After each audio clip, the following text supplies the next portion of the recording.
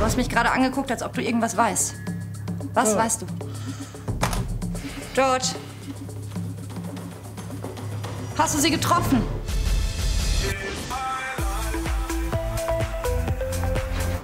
Lisa, hey, ich bin's, Maike.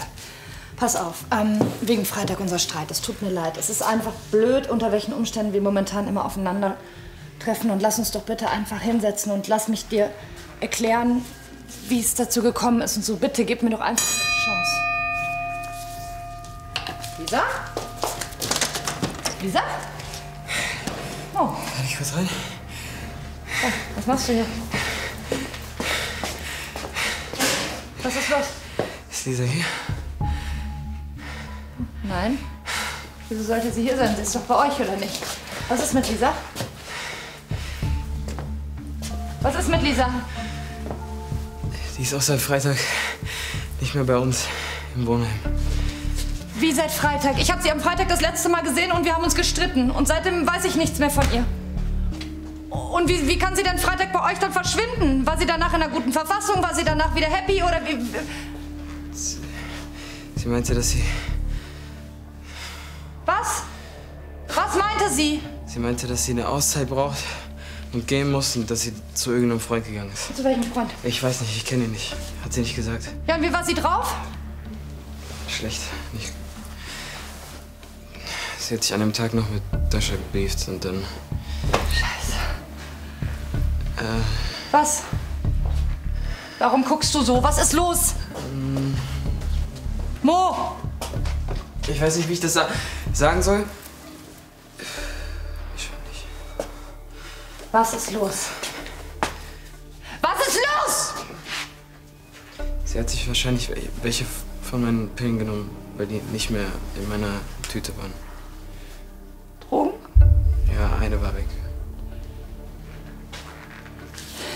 Wie kann das sein, dass sie am Freitag Drogen nimmt, sich verpisst, spurlos verschwunden ist und du kommst heute hier an und sagst mir Bescheid? Warum warst du nicht gestern oder vorgestern schon Ich hier? wusste nicht, dass sie so lange wegbleibt. Was sollte ich denn machen? Ich habe versucht, sie anzurufen. Es geht nicht, es geht keiner dran. Scheiße, meine Nachrichten gehen auch nicht durch. Ich versuche ja auch seit Tagen hier was. Oh. Pass auf. Du gehst jetzt ins Wohnheim. Du hältst da die Stellung und wenn Lisa da auftaucht, sagst du mir sofort Bescheid. Okay? Ich gehe zur Polizei und gebe eine Vermisstenanzeige auf. Scheiße.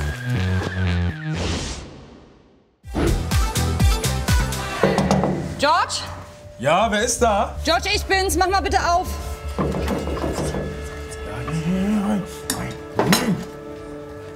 Ich bin sofort da.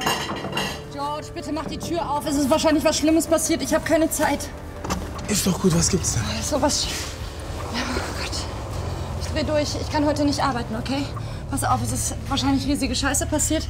Eventuell ist irgendwas mit Lisa. Ich muss sofort zur Polizei und eine Vermisstenanzeige aufgeben. Mo war bei mir im Loft und hat, hat mir gesagt, dass sie seit Freitag verschwunden ist. Da waren irgendwelche Drogen mit im Spiel und sowas. Ich mache mir tierische Sorgen. Mo hat mich zusätzlich noch kirre gemacht. Und deswegen werde ich jetzt zur Polizei gehen, eine Vermisstenanzeige aufgeben und danach wieder ins Loft. In der Hoffnung, dass Lisa da auftaucht, okay? Ich kann heute nicht arbeiten. Es tut mir leid. Schafft ihr das ohne mich? Kannst du dich ganz kurz beruhigen? Nein. Okay? Doch, doch, doch, doch, doch. Lisa geht's gut. Ich spüre das. Ja? Und ihr ist nichts passiert. Kann gut sein, dass ihr Akku leer ist und deswegen man sie nicht erreicht oder sie nicht anrufen kann. Ja? Und du brauchst jetzt nicht sofort zur Polizei rennen. Wenn du dorthin gehst, machst die Vermisstenanzeige, dann müssen die erstmal alles in die Wege leiten und das dauert alles. Ich würde lieber sagen, beruhig dich, geh ins Loft und halt dort die Stellung, okay? Und wir warten erstmal ab, was passiert. Danach können wir ja immer noch zur Polizei. Ja, vielleicht, ähm, vielleicht hast du recht. Ja. Ich gehe jetzt erstmal ins Loft, warte da. Aber wenn Lisa sich in einer Stunde noch nicht gemeldet hat, gehe ich trotzdem zur Polizei. Okay. Nicht, dass ihr irgendwas passiert ist am Ende oder so. Ach, George. Wenn der unwahrscheinliche Fall eintreten sollte, dass sie sich hier irgendwie meldet oder blicken lässt, dann sag mir bitte Bescheid, ja? Mhm. Danke. Ciao.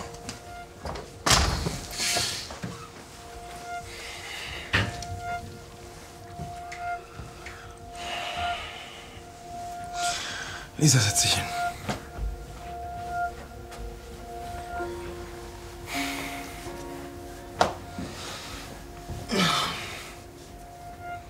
Lisa, das ist echt nicht cool, was du machst. Deine Mutter macht sich wirklich Sorgen. Oder soll ich sagen, Maike macht sich wirklich Sorgen. Du musst dich schnellstmöglich bei ihr melden. Wie? Nee, du hast, kannst von Glück reden, dass sie nicht zu dem Bullen gerannt ist, weil ich mit ihr geredet habe. Und es ist, und es ist scheiße, dass ich sie ständig anlügen muss. Oder? Du kannst ihr das nicht sagen. Schau mal, ich weiß doch, wie es ist. Jedes Mal, wenn sie das weiß, dass ich irgendwo bin, dann kommt sie zu mir, will mit mir reden und alles soll wieder gut sein. Ich kann nicht mit ihr reden. Ich kann das nicht. Kannst du das nicht verstehen? Bitte sag ihr das nicht. Und jetzt Wohnung kenne ich auch nicht. Soll ich zu Hannes und zu Dasha mit denen reden oder was? Lisa- Josh, bitte, kannst du jetzt bitte nicht sagen, bitte nicht. Ich bin vollkommen Bitte bei bitte dir. Aber dann melde dich doch wenigstens bei deinen Freunden. Damit sie wissen, dass es dir gut geht und so wird Maike auch mitbekommen, dass du noch da bist, am Leben ist. Du hast ja gemerkt, was sie denkt. Ja, okay.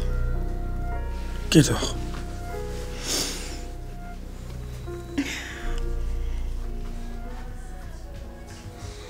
Dein Handy war die ganze...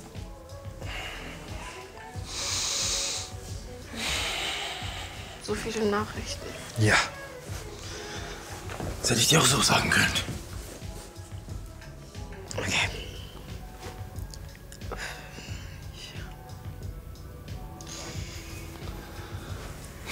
Hey Mo, ich wollte nur sagen, dass es äh, mir gut geht. Ich war beim einem Freund und musste dir wirklich keine Sorgen machen. Ich hatte einfach nur mein Handy aus. Ich hätte Maike nicht anlügen dürfen. Hätte ich Lisa auffliegen lassen, dann wäre sie wahrscheinlich wieder abgehauen.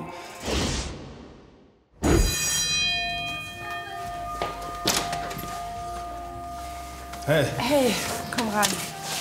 Sorry, ich dachte vielleicht Lisa vor der Tür. Nee, ich bring Essen.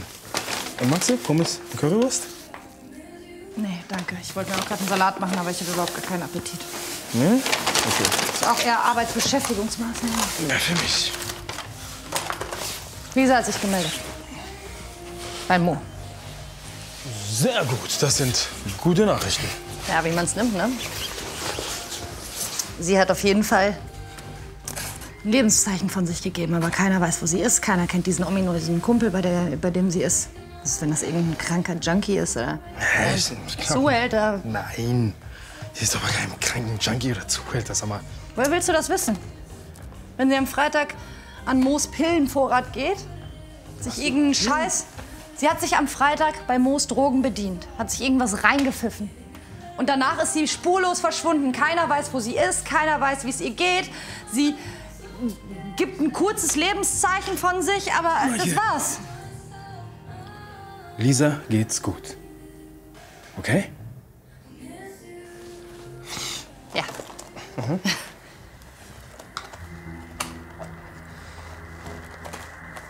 Woher weißt du das?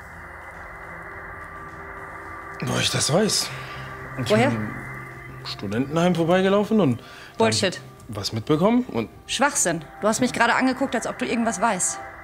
Was weißt du? George. Hast du sie getroffen? Lisa ist bei mir. Ich habe sie am Freitag alleine gefunden. Sie war da. Ich habe sie mit in mein Apartment genommen. Ich habe auf sie aufgepasst. Ich habe auf sie aufgepasst. Und sie wollte, dass keiner es weiß. Auf dich ist sie so oder so nicht gut anzusprechen. Ich wollte es dir auch sagen. Ich wollte es dir wirklich sagen.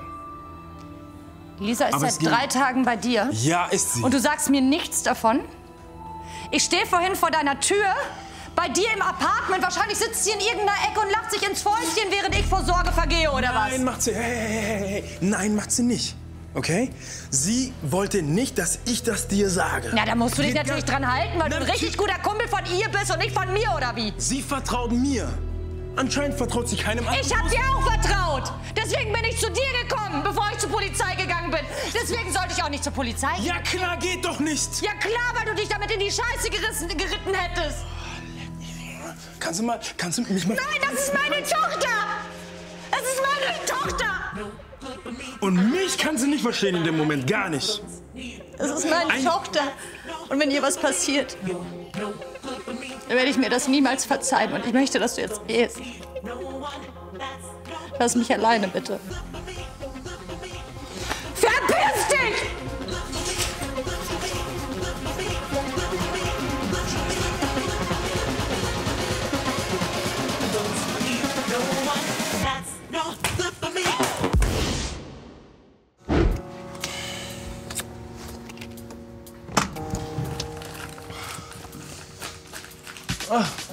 Was machst du denn? Schon da. Ich habe Kuchen gebacken. Die Meisterbäckerin. Der sieht toll aus, oder? Der ist gut. Der ist sehr gut. Ich wollte mich einfach mal bedanken, dass du mich so lange aushältst. Kein Mit Kuchen. Alles gut. Ich hoffe, der schmeckt auch. Natürlich, du musst auch mindestens 4, 5, 6, 7, 8, 9, 10 Stück essen. Hotel. Aber die Meisterbäckerin muss mir jetzt erstmal zuhören, okay?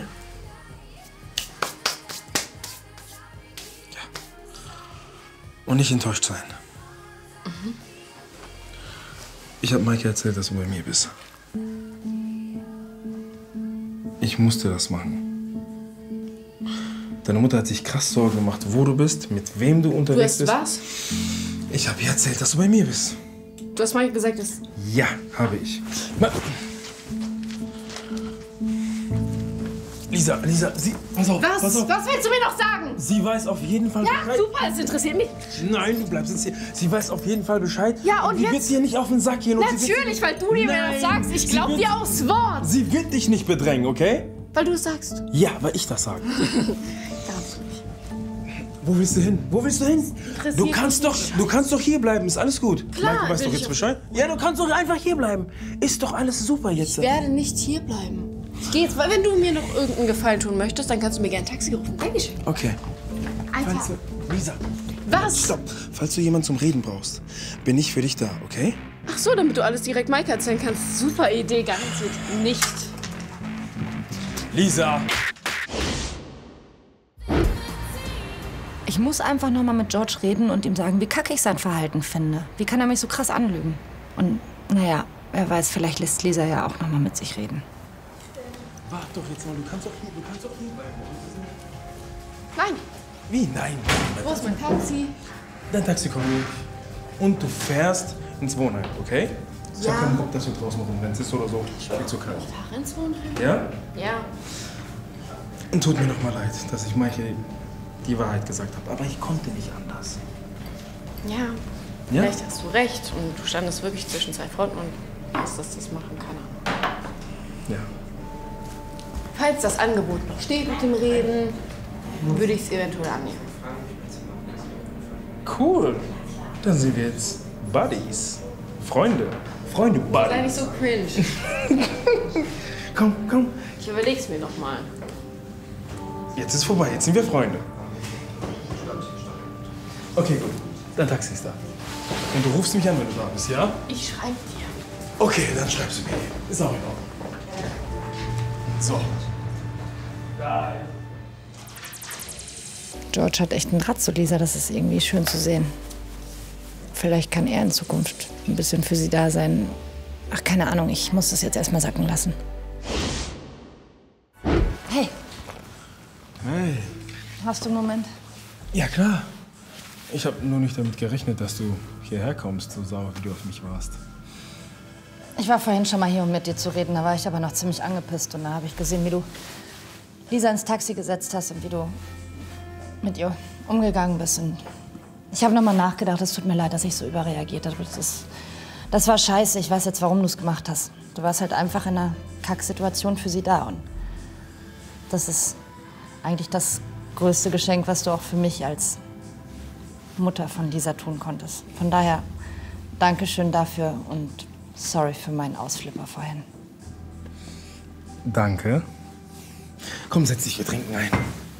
Paul, ein Weißwein mit Eis, bitte. Der Herr weiß, was ich mag.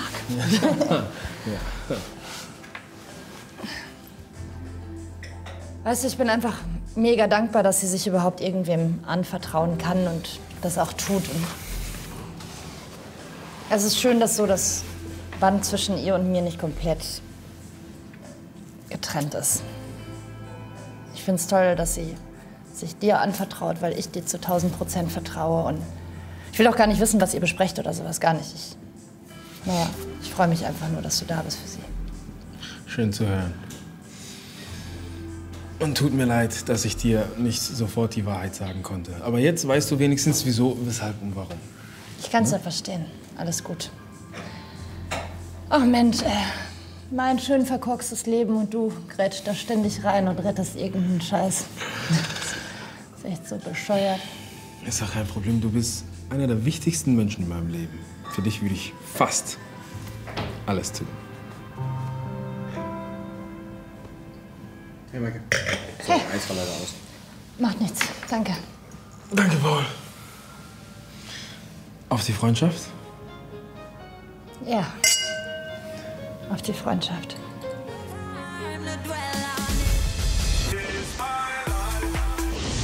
Robert. Was? Liebe Jule, ich brauche heute deine Hilfe bei einem sehr wichtigen Geschäftstermin. Was für Geschäftstermin? Guck dir das mal an. Der will dich 100% flachlegen. Hey, da bist du ja. Sag mal, was du sie noch alle? Was schleißt du dich so von hinten ran?